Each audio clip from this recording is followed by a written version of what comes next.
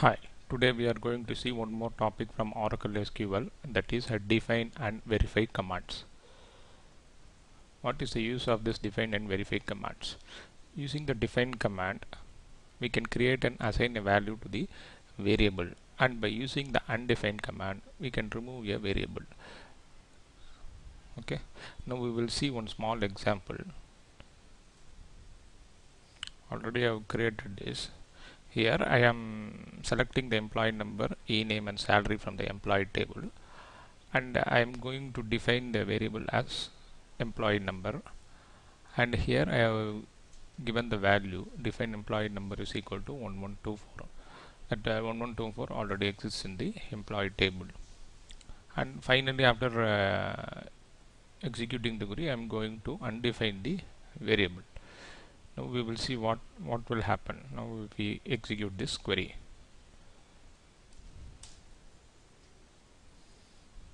Here it shows the uh, result.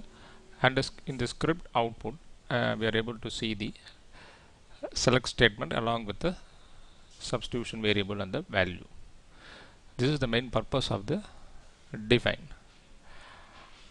And actually what it does means it uh, creates a substitution variable for an employee number by using the define command and at the runtime this displays the employee number name and salary.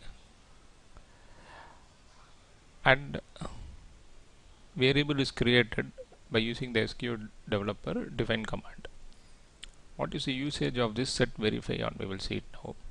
Actually what this verify on is doing it forces the SQL developer to display the text of the command after it replaces the substitution variable. We will see with one example. Example. Here I am selecting employee number, e-name and salary from the employee table and for the employee number only I am going to select and here we should not use the either control enter or this one we have to use the F5 button you have to press the F5 then it will ask for the substitution variable. We have to give the correct value. Then it will display like this. So we in the in the script output so we are able to see the uh, result. So this is the main purpose of the set verify on. That means it is used to display the text of command after it replaces the substitution variable Today we have seen about the define, undefined and set verify on. Thanks. Bye.